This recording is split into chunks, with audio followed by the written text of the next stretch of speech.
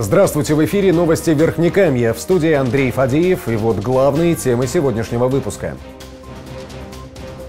Пожар в центре Перми. Люди выпрыгивали из окон, а очевидцы еще до приезда пожарных бросились спасать беременную девушку.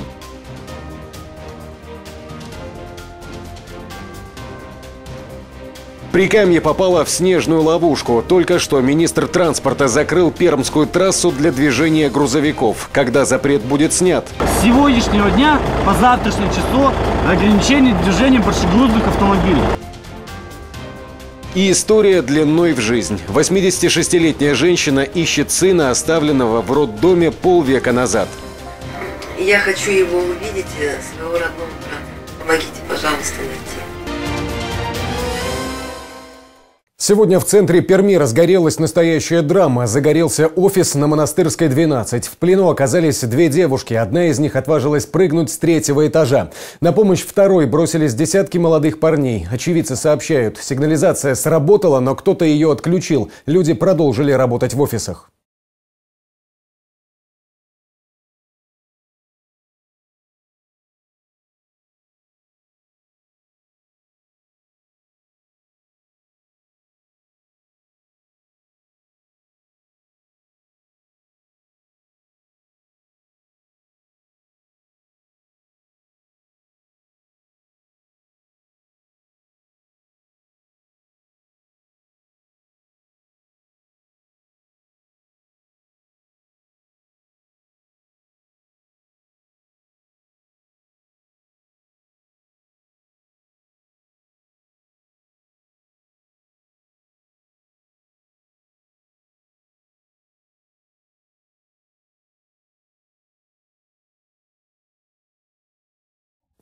А мы продолжим самой злободневной темой этого дня всего Верхнекамья. Сегодня многие автомобилисты опоздали на работу, потому что с утра буквально откапывали своих железных коней. А МЧС предупреждала об аномальной метели. Как город справляется со снежной стихией, расскажет Евгения Кокшарова.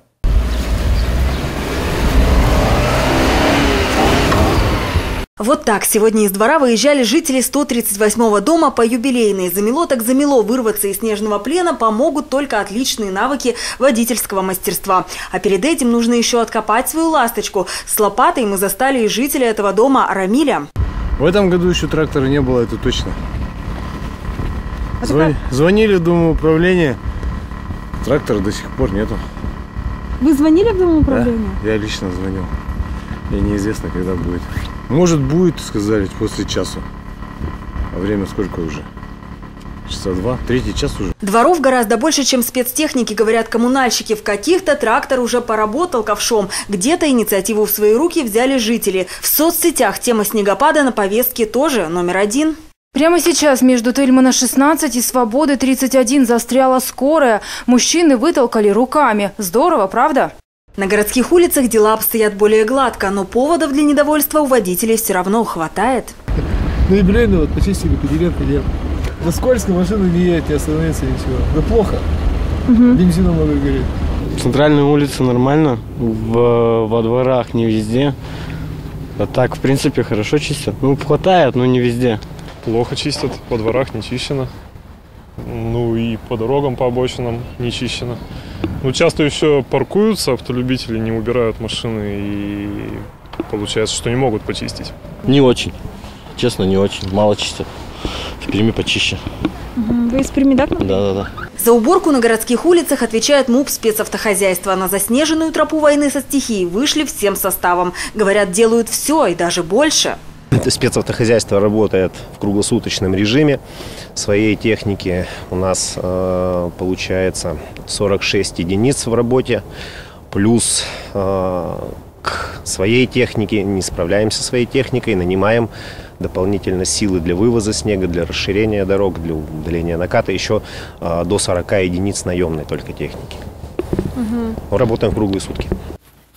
Синоптики обещают, завтра тоже будут снегопады, правда, не такие обильные, так что у коммунальщиков еще будет время. Сегодняшняя ситуация может повториться на следующей неделе, опять же, если верить прогнозам. Так что самый нужный аксессуар для автомобилиста сейчас – это лопата. Евгения Кокшарова, Степан Некрасов. Новости Верхнекамья. Обильный снегопад толкнул на крайние меры. Министр транспорта Пермского края буквально только что запретил фурам ездить по трассе. Ограничение продлится ровно сутки. С сегодняшнего дня по завтрашнее число ограничение движения большегрузных автомобилей. Ознакомьтесь. Такая жесткая мера введена из-за заторов на трассе. Фуры не могут подняться в гору, буксуют, их заносят. Создаются аварийные ситуации, пробки. За распоряжением министра транспорта пристально следят инспекторы ДПС. Ограничение вводится с 17 января с 18 часов, э, с 18.00 часов по 18 э, января 18.00 часов.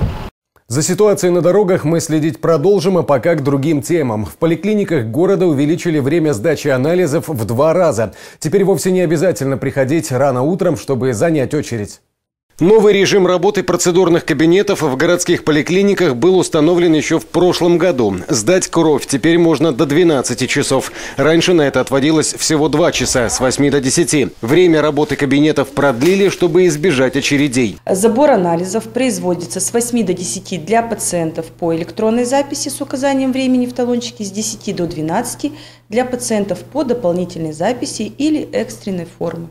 Убедительная просьба для пациентов, записанных по дополнительным талонам, приходить с 10 до 12, не создавая проблем и себе, и сотрудникам лечебного учреждения. А вот инъекции медики делают до половины четвертого ежедневно и до 15 часов по пятницам. На время ремонтных работ в поликлинике на Деменева процедурные переехали в кабинеты 200А и 248. Энергетики потребовали у собственников пяти домов в Усолье снести постройки. Спустя 30 лет сотрудники МРСК Урала заметили, жилые дома находятся в охранной зоне ЛЭП и вышли в суд с иском о немедленном сносе. Решили людей просто взять и лишить крова. Единственного крова больше же нет у нас тут ничего. Усолье. Улица с говорящим названием Красноармейская. Здесь назревает революция. Сразу пять семей могут в ближайшее время лишиться крова. Люди уверяют, им выдали разрешение на строительство домов более 30 лет назад, а сейчас заставляют сносить. Проходит линия электропередач 35 киловольт, которая давно установлена, но права зарегистрированы совсем недавно. То есть, грубо говоря, они поставили когда-то там, ничего не зарегистрировали, а сейчас э, проснулись и говорят, ребята, сносите. А люди здесь уже, мы живем уже давным-давно, то 30 лет, то 20 лет. Не собираются не выкупать участки, ничего-то компенсировать. Все эти дома попали в охранную зону, то есть стоят слишком близко к высоковольтным линиям. По закону такого быть не должно. Расстояние от проводов до ближайшей постройки должно быть не менее 15 метров. Существует реальная угроза для жизни людей. Категорически запрещено расположение расположение каких-либо объектов, построек, строительства, демонтажа, расположение каких-либо гаражей, стоянок, э, иных объектов. Запрещено скопление людей, поскольку это угрожает жизни и здоровью людей, в том числе данных собственников данных э, объектов. Где были энергетики раньше и кто выдал разрешение на стройку вблизи ЛЭП, ответить на эти вопросы энергетики затруднились. Следующее судебное заседание по поводу сноса домов пройдет 30 января. Сергей Коленник, Дмитрий Воронушкин. Новости Верхняками. А сегодня к нам в студию пришло видео-письмо из Казахстана. Пожилая женщина совсем недавно раскрыла своей семье тайну, которой полвека. 55 лет назад женщина родила в часовом двойню. Девочку забрала домой, а мальчишку с дефектом развития, волчьей пастью, оставила в роддоме. Спустя время женщина одумалась, но найти сынишку уже не смогла. Моя мама, вот она рядом сидит, ей 85 лет. Она очень хочет, хочет говорит, перед смертью его увидеть. Вот. Мне сейчас 55 лет, и я хочу, я хочу его увидеть, э, своего родного брата. Помогите, пожалуйста, найти. Родные разыскивают Владимира Аникина по отцу Пьянкова. Сейчас ему 55 лет. К сожалению, фото у семьи нет. Но есть надежда, он жив и обязательно найдется. В 70-х годах семья жила в Прикамье, в Чусовом. 12 февраля 1963 года Веру Кирилловну Аникину повезли в роддом. Начались схватки. Женщина ждала двойню. Добраться до больницы не успела. Дети появились на свет в Комарихинском леспромхозе. Девочка родилась родилась здоровой, а вот у мальчика врачи нашли патологию – волчью пасть. Она меня забрала, а ребенка оставила там. Володю отправили дальше в роддом, нет, в детскую больницу э, города Чусовой. Там он пролежал где-то до 9 месяцев. Моя мама ездила к нему, держала его на руках, видела его. Вот. Но все-таки побоялась она его забрать из-за такой болезни. Ей было очень тяжело в том случае, что у нее еще было четверо детей. Мальчишку привезли в детскую больницу, а потом определили в Березняковский дом малютки. Больше о Владимире Аникине ничего не известно. Из России семья Володи переехала в Казахстан. Спустя пять лет женщина сделала запрос в Березняковский дом малютки и хотела усыновить парнишку, но ей отказали. Вот фото отца Володи в молодости. Это Василий Егорович Пьянков. Есть информация, он до сих пор проживает в Чусовом. На руках у мужчины старший сын, а это мама Вера Аникина. Сегодня ей уже 86 лет, и женщина больше всего всего на свете мечтает обнять родного сына и попросить прощения. Елена Суханова, Новости Верхнекамья. Военный комиссариат Пермского края приглашает родственников, родных и близких участников Великой Отечественной войны, погибших на полях сражений, пропавших без вести, предоставить информацию о них. В Москве готовят к открытию Храм Победы. Будет построен к 75-й годовщине Великой Победы главный храм Вооруженных сил Российской Федерации. Храм представляет из себя целый комплекс храмовый. Так вот, по периметру этого комплекса будет проходить э, галерея «Дорога памяти». На территории галереи установят интерактивные терминалы, на которых разместят информацию о всех известных участниках Великой Отечественной войны. Чтобы имена наших земляков увековечили, военный комиссариат Березняков собирает сведения о погибших на полях сражений солдатах. Родных и близких героев, погибших на полях сражений или пропавших без вести, просят предоставить информацию о них. военный комиссариат на Тельмана-3 нужно принести фотографию участника войны в бумажном или электронном виде, а также сообщить о его личных данных и боевых заслугах. Накануне всю Россию возмутили упаковки не с десятком, а с девятком яиц. Такой товар появился в некоторых магазинах. В ответ на это одна из птицефабрик Свердловской области решила выпускать яйца по 12 штук в упаковке. А в следующем сюжете мы расскажем о еще одном производителе, который не собирается экономить на своих покупателях. Его полезный продукт можно найти и в Березняках.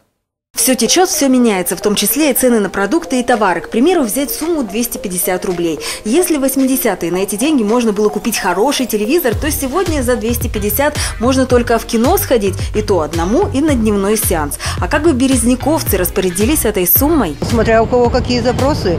Литр молока, хлеб, ну что-то в рожку со сметанкой, все. На 250 рублей? Да. Мне кажется, я бы как студент просто пошла бы и поела на эти деньги. Покушать колбаски с хлебушком, купить покушать. Вкусняшек. Каких? Чипсы можно купить. Не знаю, колы там, посидеть. Можно, стиральный порошок. А вот одна из самых известных пасек предлагает на 250 купить целый килограмм здоровья. Ну а как еще назовешь банку душистого цветочного меда слугов Башкирии? В наш город вновь приехала любимая медовая ярмарка. Причем в новом году прежними остались не только сорта меда. Праздники закончились, э, происходит какой-то новогодний коллапс, да, то есть люди меняют э, цены, очень везде подскакивают, но хотел бы сказать, что пасека чаев э, не изменяет своим традициям, привозит натуральный мед полезный, вкусный, и цены остаются прежними. Сильнейший иммуномодулятор – мед с прополисом, акациевый мед с высоким содержанием фруктозы, который подходит даже диабетикам. Богатый железом гречишный мед, который рекомендуют кушать при анемии. Ну и, конечно же, всеми любимый нежный липовый золото Башкирии. На обновленном прилавке почти два десятка сортов. И про пчелопродукты, как всегда, не забыли. Перга – это эликсир молодости, здоровья. Тот, кто, говорят, кушает пергу, тот вечно живет. Ну, так говорят. То есть и даже из старожилов, многих людей, кто много живет, то есть это проведено как бы исследование, что пчеловоды очень долго живут, потому что они используют свой продукт, то есть кушают мед и непосредственно цветочную пыльцу, маточное молочко и пергу. Все, что подарили нам трудолюбивые башкирские пчелки, а также творения уже кулинаров. Натуральный конфитюр из фруктов и ягод вы можете приобрести на ярмарке Пасеки Кучаевых. Ярмарка Пасеки Кучаевых расположилась в торговом центре Orange Mall на первом этаже и будет гостить у нас до 27 января. Обратите внимание, условия главной акции от Кучаевых остались прежними. При покупке 2 килограммов меда 1 килограмм цветочного в подарок. Евгения Кокшарова, Степан Некрасов. Новости Верхнекамья. Дракон, самурайский меч, борьба с умо. Символы Японии вскоре воплотят в ледовых композициях в центре Перми. В городе стартовал Кубок России по ледовой скульптуре «Зимний вернисаж». В этом году его тема – японские мотивы. 11 команд из разных стран прибыли в Пермь и уже приступили к работе. Продолжит наш пермский коллега с телекомпании «Рифей Пермь». Звук электропил, резцов и шлифовальных инструментов будет слышен на эспланаде в течение всей этой недели. Здесь трудятся участники Кубка России по ледовой скульптуре. Творческий турнир собрал больше двух десятков профессионалов. Скульпторы из разных российских регионов, а также гости из Сингапура, Китая, Малайзии создают ледовые композиции на темы японской культуры. У нас есть э, ребята, которые уже не раз к нам приезжали. Это команда из Малайзии. Они, если я не ошибаюсь, третий раз участвуют в Кубке именно на льду. Очень опытные ребята и не раз претендовали на призовые места. Китайская команда тоже не в первый раз участвует, но обычно работала, работала со снегом. В Перми будет впервые со льдом работать. Команда из Сингапура в пермском турнире «Зимний вернисаж» участвует впервые. Это опытные мастера в их послужном списке создания работ на крупных международных фестивалях в японском Саппоро, а также в Салихарде и Москве. Капитан команды говорит, что в Перми бывал и раньше. Десять лет назад он участвовал в зимнем форуме «Снег и лед и пламень», который предшествовал Кубку России. Сейчас сингапурцы создают сложную композицию, в основе которой образ журавля. В Японии эта птица – символ счастья, долголетия, исполнения мечты. В основе нашей работы журавли, а также образ круга. Это и солнце, которое встает на востоке, и символ того, что связывает всех нас – дружба. Наша композиция технически сложна в исполнении, но лед здесь очень качественный и погода комфортна для работы. Здесь трудятся профессионалы, победить непросто. Участие в этом кубке – вызов для каждого скульптора. Команда из Якутска взялась за создание образа дракона. Этот фантастический зверь на Востоке олицетворяет высшие силы, природные стихии. Скульпторы из Санкт-Петербурга построят ледяной японский театр. Рязанцы в центре своей композиции решили поместить самурайский меч. Ну а пермская команда заинтересовалась борьбой с умом. Мне нравится на фестивалях быть, потому что когда начинаются какие-то темы, и в нее углубляешься, да, ищешь, смотришь там фильмы, книги, там тексты какие-то, журналы, картины, фотографии. И очень много узнаешь всегда. Мне, я с большим удовольствием вообще погружаюсь в какие-то странные темы, потому что ну как-то так погружаешься и узнаешь мир. Работать скульпторы будут всю неделю. Кому в этом году достанется главный приз «Хрустальный кубок» станет известно 19 января. Андрей Григорьев, Юлия Языкова, Александр Худяков, телевизионная служба новостей. Делайте новости вместе с нами. Снимайте эксклюзивное видео городских происшествий или интересных событий. Присылайте нам и становитесь мобильным репортером программы «Новости Верхнекамья». Мы ждем ваших сообщений на электронную почту tnt.news.sobakamail.ru или по телефону 43 17 11. Вы смотрели главные новости Верхнекамья. Далее вас ждет прогноз погоды, а я с вами прощаюсь. В студии был Андрей Фадеев. Всего вам доброго и только хороших новостей.